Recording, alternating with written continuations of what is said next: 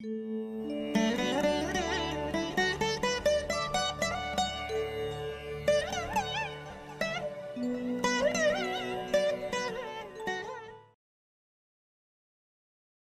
வணக்கம். எல்லோரும் நன்றாக இருப்பீர்கள்.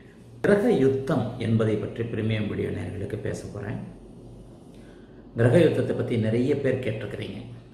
கிரக யுத்தம் அப்படிங்கிறது வந்து இரண்டு கிரகங்கள் அருகருகே இருப்பதால் ஏற்படுவது கிரக சேர்க்கை கிரக யுத்தம் கிட்டத்தட்ட ரெண்டையுமே ஒரு ஒரு ஒரே பாதையில் வந்து வச்சு சொல்லலாம். என்னுடைய அனுபவத்தின் காரணமாக வேத ஜோதிடத்தில் சொல்லப்படுகின்ற அத்தனை விஷயங்களையும் ஒரு இன்னொரு பரிமாணத்தில் முழுமையாக கலந்த சில விஷயங்களாக உங்களுக்கு சொல்கிறேன் சுபத்துவம் பாவத்துவம் என்கின்ற ஒரு அமைப்பும் உண்டு. கிரக யுத்தத்தில் விதி விளக்கான ஒன்றே ஒன்று சூரியனுக்கும் சந்திரனுக்கும். சூரியனை மையமாக கொண்ட ஒரு வான்கோள பாதையை அருகருகே வரும்பொழுது மட்டுமே அதனுடைய ஈர்ப்பு விசையால் பாதிக்கப்படுகின்றன. சந்திரன் முழுக்க முழுக்க நம்மை சார்ந்தது. நட்பு கிரகங்கள் வான்வெளியில் ஐந்து டிகிரிக்குள் இணைவதற்கும் பகை கிரகங்கள் கிரகங்கள் வான்வெளியில் ஐந்து டிகிரிக்குள் இணைவதற்கும் நிறைய வேறுபாடுகள் இருக்கின்றன. யுத்தத்தில் தோற்ற கிரகம் பார்க்கும் பாவகம் நசியும் அப்படின்னு மூல நூல்களில் சொல்லப்படுகிறது. சனியும் செவ்வாயும் மிக முக்கியமான அந்த குடும்ப ரெண்டு ஏழு எட்டு பன்னிரெண்டாம் பாவகங்களில் ராசிக்கு இரண்டு ஏழு எட்டாம் பாவங்களில் இணையும் பொழுது ஒருவருக்கு வாழ்நாள் முழுக்க தாமத திருமணம்.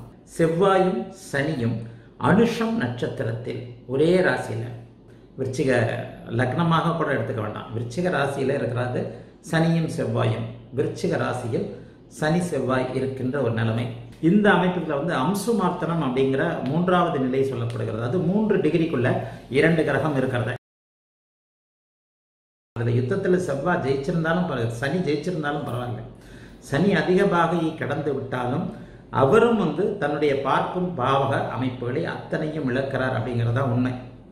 இதில் மூல நூல்களே கருத்து பதங்கள்லாம் இருக்கின்றன. இந்த நட்சத்திரத்தில் செவ்வாயும் சனியும் அணிந்திருக்கின்ற நேரத்தில் இங்கே கிரக யுத்தம் நடக்கும் பொழுது அங்கே சனி ஜெயித்திருந்தாலும் செவ்வாய் ஜெயித்திருந்தாலும் எட்டாம் பாவகம் செவ்வாயால் பார்க்கப்படும். அந்த பாவகம் கிடும்.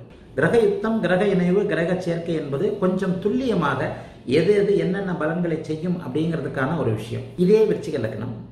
சனி வக்ரமாக இருக்கிறார். செவ்வாய் நேர்கதியில் இருக்கிறார்.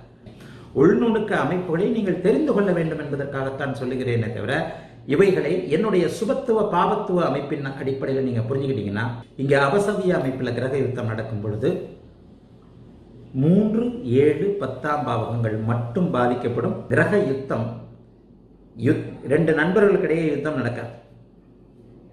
குருவுக்கும் சுக்கரனுக்கும் யுத்தம் நடக்கலாம். ஏன்னா இருவரும் ஜென்ம விரோதிகள்.